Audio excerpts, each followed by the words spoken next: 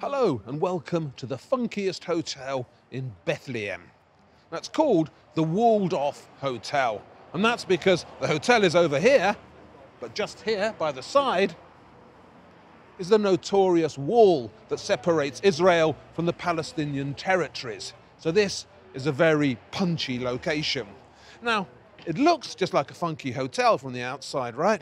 But it isn't. The whole thing, all of it, is an artwork by the notorious Banksy. And if you think the outside is extraordinary, wait till you see the inside.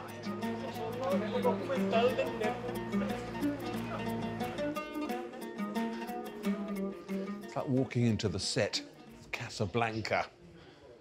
Any minute now, you expect someone to start playing the piano. But the big difference is, you know, any hotel you go to, there's always art on the walls. It's usually some abstract paintings or something non offensive that won't annoy anybody. Well, that's not true here because all the art on the walls in here is by Banksy. So let's have a look at some of it. Now, because this is Bethlehem, you have to have some reference here to the Nativity and the birth of the baby Jesus. So it's a kind of Banksy crib above the fireplace, uh, except that it's not called the Star of Bethlehem, as these things usually are. It's called the Scar of Bethlehem. And what it actually is, is the wall, the one we just saw outside in the background with a great big cannon hole in the middle of it, and the birth of the baby Jesus taking place underneath. So everything here subverts the country house look, if you like. Uh, normally, in a place like this, you'd get the heads of all the animals that the owner has shot hung up on the wall, the trophies. But this time, all the trophies, in very Banksy style, are surveillance cameras. Loads and loads of surveillance cameras.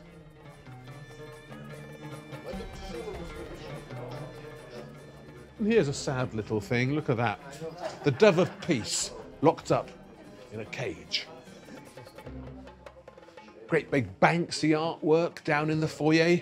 Huge heart carved into something that looks suspiciously like the wall outside. And of course, written on it in Banksy style again, sarcastically, super sarcastically, is the word peace in Latin. I like these angels above the piano. Something terrible's happened to them, and the gas masks have fallen down so they can breathe. Typical Banksy. I like this place so much, I've decided I'm going to try and stay. Hello, uh, can I have a room? Yes, of course, you can have the presidential suite. The presidential suite. That sounds just like for me. Thank you very much. I like this. Not reception, but rejection. Is there a key? The presidential suite. Thank you very much. They said the door to the room was over here somewhere, but I can't see it. All I can see is some kind of library. Ah, it's a secret entrance. This whole place is like a cross between the hotel in Casablanca and something from Scooby Doo.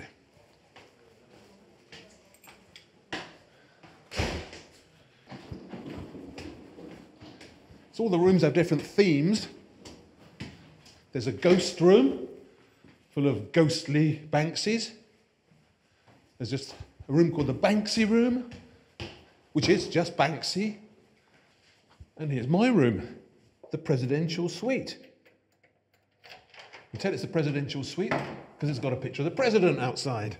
I think if someone like Saddam Hussein was ever looking for a room in Bethlehem, he'd probably choose this one. I mean, look at the bath. It's the size of a small Olympic swimming pool.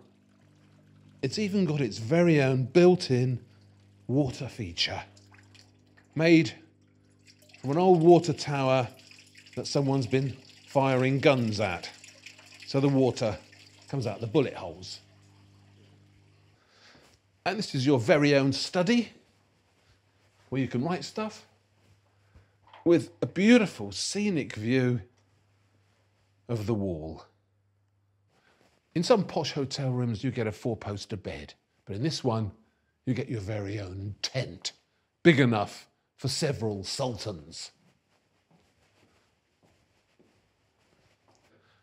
And if after a hard day's tourism you have to relax and recline a bit on this wonderful and expansive zebra skin super sofa, look what you've got above you, courtesy of Banksy. It's a gang of ravenous leopards, chained up and ready to eat you.